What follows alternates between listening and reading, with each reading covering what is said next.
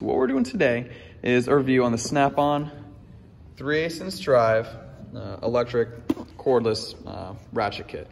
Looks just like this, uh, just came in the mail, the Snap-on box. I like how the Snap-on box, when it shows up, it uh, doesn't say Snap-on on the outside, but when you open it up, it's got the nice little sticker. So here we go. Um, I haven't opened yet. I really like the old school way they do this. There's no tape that you have to pull off the corners. It's nice and old school, the thin box. It's, it feels like it's, you know, original, authentic American tools. So I have the charger, um, another charger for these batteries. I have a couple of things with these batteries here at work.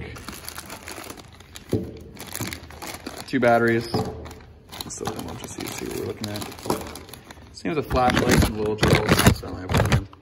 Seems a flashlight and little drills. I don't know if they come pre-charged, so we'll see if it turn this thing on or if we got another battery. Oh, the boot to go over the end like the ratchets have. This goes over the ratcheting end.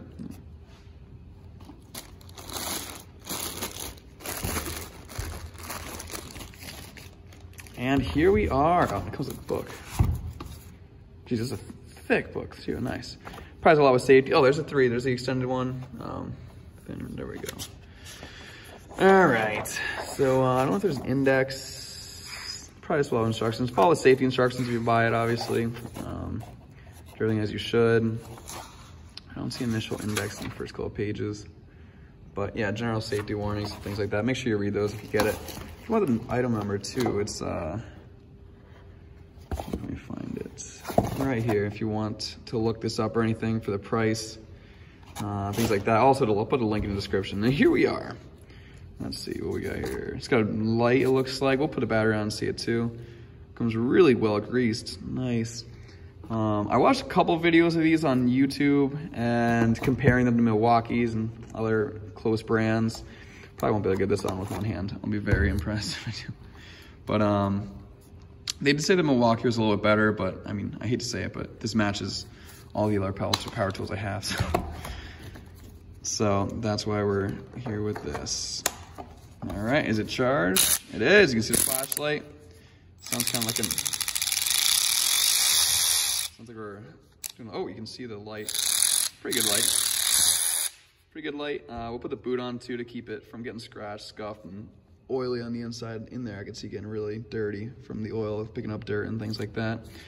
But yeah, it feels good. I like the weight. Uh, it's pretty heavy. I mean, it's not pretty heavy, but it's it's pretty light, but it's it's definitely got some good weight as if you, you know it's metal. Um, I'd love to know the weight of this. I'll put in the description so I can say it.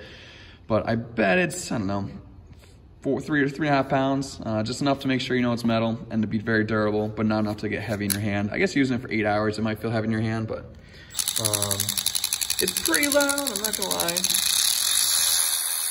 Spins pretty fast. We'll see what the, I think the torque rating is like 35 foot-pounds, but I'm sure it'll go a little harder than that. I'm not sure. I mean, obviously it's could be dangerous using it over 30 foot pounds, but we'll see. Um, yeah, I saw a video of them online putting the tape over them and seeing how long it would run for and if it overheats, but looks very well oiled, so I'm, I'm sure it'll do well up there. All right, we'll definitely make some videos of how it actually works in the field and some reviews, but this was a good unboxing video, so I hope you enjoyed. Please like, comment, subscribe for the views on our videos on um, a review and that once I've used it for about a month at work. And uh, we'll let you know. So, all right, have a good day and uh, leave a comment and let me know what you thought. How we going?